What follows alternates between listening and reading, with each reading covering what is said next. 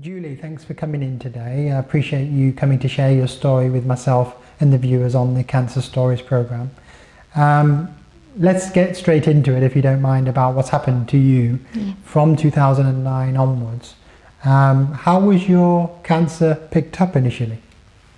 Um, I went with quite a positive attitude for screening, as most ladies do. Um, my first ever mammogram in my life, and it came early. Um, on the NHS, they normally are given, I think, at age 50. I actually made a joke with my colleagues about it, I remember very vividly, saying, Wow, mine's come early, I'm only 49. Um, why am I being sent for? Happy birthday. So I go for the mammogram and um, I'm not expecting a bad result. There was no history of breast cancer in my family. I self examined regularly, I didn't find any lumps. Um, then I was recalled. I still didn't have any concern until I actually got to the appointment at the Glenfield in Leicester and I realised I was in for a quite a long appointment. Uh, the mammogram had picked up changes in my left breast um, and basically I spent about four hours there um, having various mammograms, ultrasound, a punch biopsy, a core biopsy at the time, which I was was a very painful process, I have to say, being completely honest. Um, and then I left, um, and I was told that they were dealing with possible cancerous area, but they didn't know how much. Um, on a negative side of the visit, I was told by a doctor who I later nicknamed Dr. Blunt because it was a variance of her name. Um, when I asked the question, uh, what would happen next, meaning what would happen next at that appointment, because I'd had various tests, I didn't, there was no literature to tell you what to expect. Uh, unfortunately, it doesn't tell you that you'll be in clinic, you'll have an ultrasound, you'll have a, a biopsy, um, for all I knew, to all intents and purposes, I could have been hoiked off somewhere else and had some surgery right there and then. So I asked the obvious question, what happens next?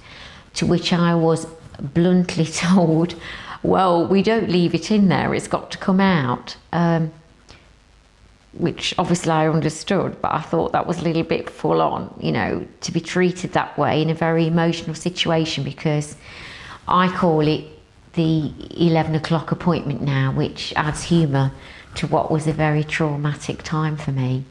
I remember sitting in a room with my twin sister with me, so obviously we were very close. She was opposite me as the clinician was telling me that actually there were changes in the left breast. And at the time, my husband, uh, in a small room with a clock face looking at me, and I could hear her words that were relative to me saying, well, actually, you've got, you know, breast cancer.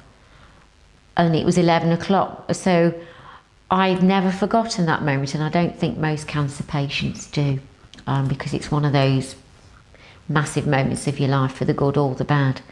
Um, and I call it the 11 o'clock appointment now to try and joke because obviously that's that's the only way I could get around it, you know, move on. Um, all kinds of thoughts go through your head really. Am I going to make it? What are the treatments going to be like? Am I going to be physically disfigured? My first thought was my daughter, who was only eight years old at the time. How will she cope? How will I tell her? Um, I think it's a very difficult thing to go through because nobody can ever prepare you for that moment because everybody hopes they'll never have to deal with that.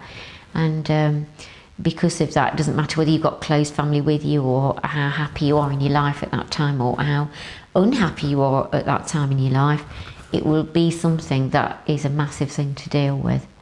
Uh, but I think I've proven, being at this stage now, five years on, um, that you know you can get through it. Yes, there are things to go through. I think you learn to deal with things in different ways and I've learned some very useful things along the way, which hopefully I can share with you right now on the video. Mm. That's good to hear.